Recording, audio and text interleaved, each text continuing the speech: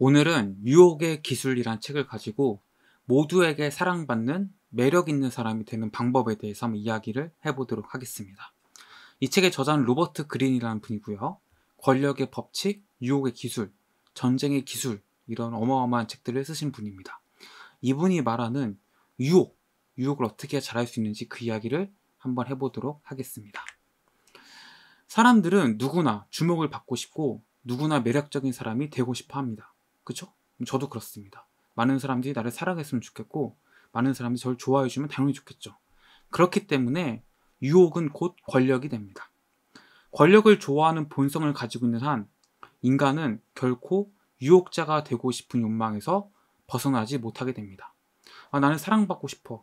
나는 사람들이 날 좋아해주면 좋겠어. 이런 욕망을 가지고 있는 순간, 이런 욕망을 계속 갖고 있는 한 절대 그 유혹하고 싶은 그 매력적인 사람이 되고 싶은 그것을 벗어나지 못한다는 겁니다. 특히 오늘날의 사회에서는 권력을 얻으려면 반드시 유혹의 능력을 갖추어야 한다고 얘기하고 있어요. 하지만 이 유혹이라는 것은 갑자기 뭐 성격을 바꾸거나 미남이나 미녀가 된다고 해서 유혹의 힘을 갖는 것은 아니라고 얘기합니다. 외모가 예쁘고 외모가 잘생기고 성격이 좋으면은 그 유혹하기에 조금 유리할 수는 있지만 뭐 무조건 잘생겼다고 해서 무조건 예쁘다고 해서 성격이 좋다고 해서 그 사람이 유혹자가 되는 것은 아니라는 말입니다. 유혹의 힘은 객관적인 아름다움에서 나오는 것이 아니라 심리 게임을 어떻게 펼쳐 나가느냐 이 능력에 달렸기 때문에 그렇습니다. 누구든지 이 심리 게임에 정통하기만 하면은 유혹의 힘을 발휘할 수 있습니다. 그럼 이 심리 게임은 무엇이냐? 세상을 다르게, 즉 유혹자의 눈으로 세상을 바라보면 된다는 거예요. 유혹자에게는 유혹하고 싶은 상황과 유혹하고 싶지 않은 상황, 이 두 가지가 따로 존재하지 않는다는 거예요. 모든 상황들은 다 유혹할 수 있는, 유혹하고 싶은 그런 상황이라는 거죠. 유혹자는 모든 사회 관계와 인간관계에서 유혹의 힘을 발휘합니다. 사회적인 유혹이든 성적인 유혹이든 일단 한 번 실행하고 나면은 처음에 어렵지 그 다음부터는 한결 쉬워진다는 거예요. 자신을 조금 더 매혹적인, 매력적인 모습으로 연출할 수 있게 됩니다. 유혹자는 이 우리의 삶을 전사의 눈으로 바라본다 얘기예요. 그들이 보기에 모든 사람은 공략을 기다리는 높은 성이라는 거죠. 아, 그래서 이 사람을 공략해볼까? 저 사람을 공략해볼까? 모든 다른 사람들을 볼 때 이 유혹자들은 전부 다 하나의 성으로 그 사람들을 본다는 거죠. 그래서 유혹이라는 것은 일종의 침투 과정이다. 유혹자는 먼저 목표로 삼은 그 사람의 마음을 공략하기 시작합니다. 마음을 빼앗긴 사람은 유혹자를 매력적인 존재로 생각하고 온갖 공상에 빠지게 되죠. 그리고 마침내 유혹을 당하게 되면은 마음의 빗장을 풀고 육체적으로 굴복하게 된다는 거예요. 유혹자는 상대방을 한 번에 공략하려 들려고 하지 않습니다. 하지만 그렇다고 해서 모든 일을 막연한 우연에, 우연적인 상황에 내맡기지도 않아요. 치밀한 계획과 치밀한 노력을 가지고 그 사람을 유혹하려 든다라는 거죠. 유혹자가 되는데 가장 큰 걸림돌은 사랑이나 로맨스를 대단히 성스럽고 신비스럽다고 생각하는 우리의 편견, 이것을 버려야 한다는 거죠. 사랑은 굉장히 고귀하고, 사랑은 굉장히 성스러운 거야. 로맨스는 굉장히 아름다운 거야. 라고 생각하는 그런 우리들의 편견을 버리는 것이 유혹자가 되는 가장 빠른 길이란 거예요. 사랑이나 로맨스는 결코 운명처럼 다가오는 것이 아니라는 거죠. 치밀한 계획과 노력과 심리 게임을 했을 때 얻을 수 있다는 겁니다. 누군가를 유혹하려면 그 사람이 얼마나 중요하고 사랑스러운 존재인지를 보여주는 노력을 기울여야 한다고 말합니다. 그 사람이 나에게 있어서 얼마나 존중받을 만한 그런 사람이고 얼마나 귀하고 얼마나 사랑스러운 존재인지를 계속 알려주고 각인시키려는 그런 보여주는 노력들을 해야 된다는 거예요. 그래서 사랑에 빠진다는 것은 우리가 무슨 마술처럼 마법처럼 뭐 그 사람의 첫눈에 반해서 이런 것이 아니라 심리학의 주제라는 거예요. 이 사람에게 어떻게 나를 각인시킬 수 있을까? 이 사람에게 나를 어떻게 어 나를 각인 나를 나만 바라볼 수 있게 만들까? 이런 심리학의 주제라는 거죠. 그래서 상대방 내가 유혹하고 싶은 대상이 있다면은 그 사람이 얼마나 중요하고 사랑스러운 존재인지를 보여주고 노력을 해보십시오. 그럴 때 여러분들은 그 사람에게 어 뭔가 정말 사랑에 빠질 수밖에 없는 존재가 될 겁니다. 유혹자는 결코 자기 도취에 빠지지 않는다 얘기해요. 유혹자의 시선은 안이 아니라 밖을 향해 있다고 얘기하는데요. 누군가를 처음 만날 경우 유혹자는 상대방의 생각을 읽으려 한다고 얘기해요.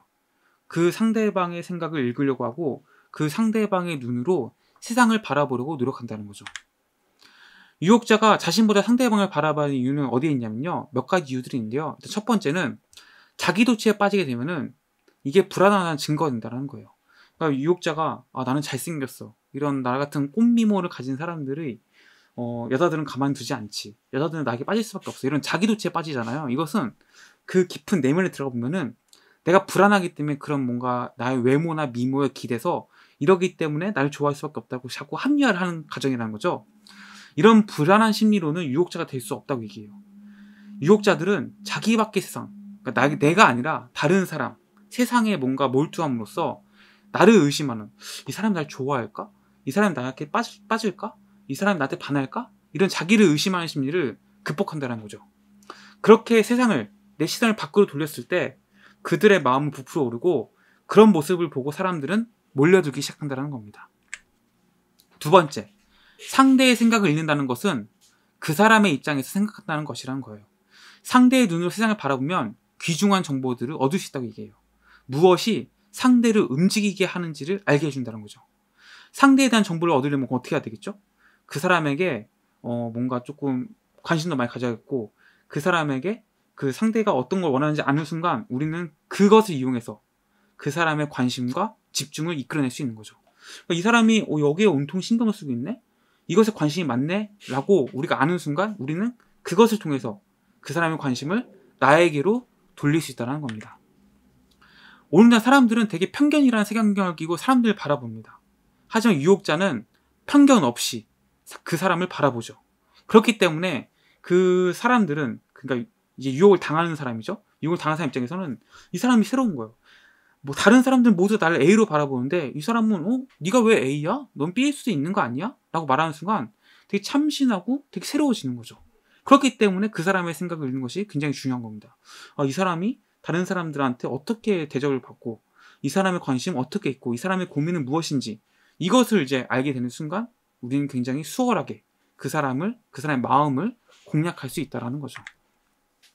세 번째, 유혹자는 마치 벌이 이곳에서 저곳으로 꽃가루를 묻혀서 어, 날라주는 그런 자신에게 사람 자신을 사람들에게 즐거움을 가져다 주는 존재라 생각한다는 거예요.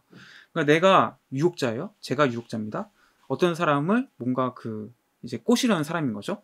이 유혹자들은 나라는 존재 어떻게 생각하느냐? 나는 상대방에게 사람들에게 뭔가 즐거움을 가져다 주는 존재야 라고 스스로 생각한다는 거죠.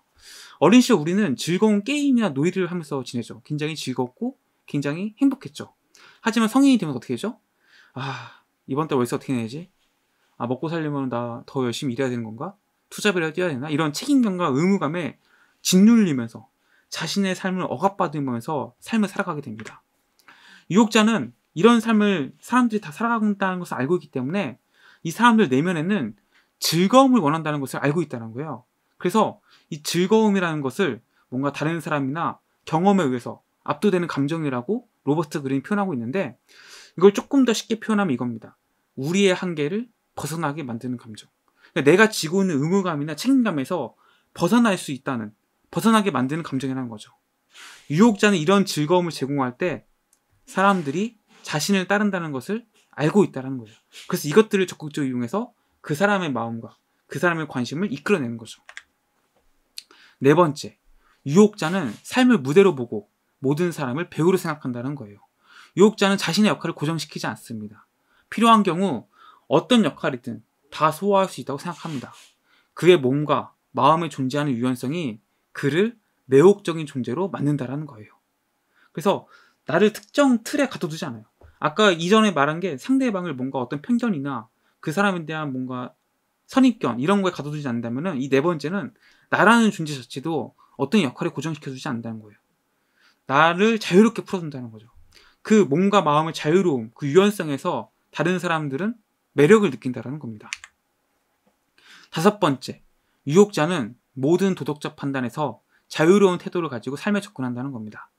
그에게 유혹자에게 삶은 게임이고 유의 장소일 뿐 유혹은 뭔가 일종의 속임수지만 어, 사람들은 유혹에 당하길 원한다는 거죠. 겉으로는 뭐 아닌 척 할지 몰라도 그 내면 깊숙한 곳에 들어가면은 이런 뭔가 정상적인 그 루트 외에 곁길로 나가길 원한다든지 아니면 조금 삐뚤어지는 그런 유혹을 받고 싶어 하고 그러고 싶다라는 거죠. 그래서 유혹자들은 자유로운 태도로 모든 것들 접근해야 되는데 이때 도덕적인 판단을 내리려는 아 이거 올, 오라 이래선 안 돼라는 그런 도덕적인 판단을 내리는 수준을 벗어던지고 삶을 유의로 바라보는 그런 유혹자의 철학을 받아들여야 한다라고 얘기하고 있습니다. 어, 로버트 그린은 끝에 이런 얘기를 합니다. 모든 유혹에는 두 가지 요소가 있다고. 첫 번째, 여러분들 유혹을 하려면 이걸 꼭 아셔야 돼요. 첫 번째, 자신의 매력이 무엇인지 알아야 됩니다. 자신의 매력. 내 어떤 점이 상대방에게 어필될 수 있을까? 다른 사람 나의 뭐에 끌리게 될 수 있을까? 이것을 정확하게 알아야 된다는 거죠. 그래서 자신의 매력을 무엇인지 알아야 된다. 이게 첫 번째고, 두 번째는 목표물에 대해 알아야 한다는 거죠.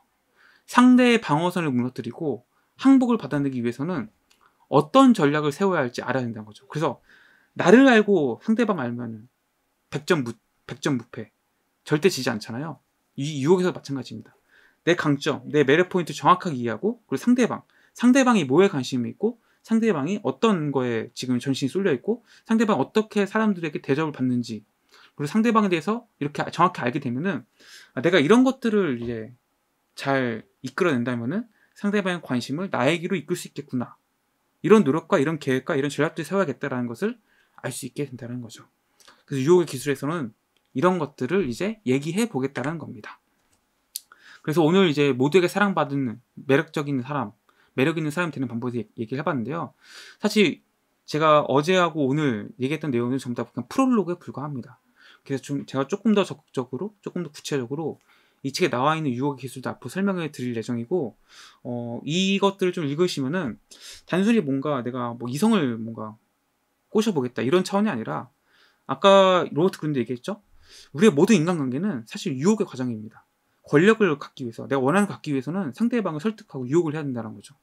그렇게 뭔가 삶을 조금 더 뭔가 내가 원하는 것을 얻고자 하는데 이용할 수 있는 이 유혹의 기술에 대해서 제가 말씀을 드릴 거고 이것을 뭔가 좀 편견을 가지고 뭔가 이거 남녀 간의 유혹이라고 생각하기보다는 보편적인 사람의 심리다라고 조금 이해하시고 유혹에서 보신다면은 여러분들이 대인 관계, 사람과 사람 사람과의 관계에서 조금 더 수월하게 여러분들이 원하는 것을 얻어낼 수 있지 않을까 그런 생각을 해봅니다.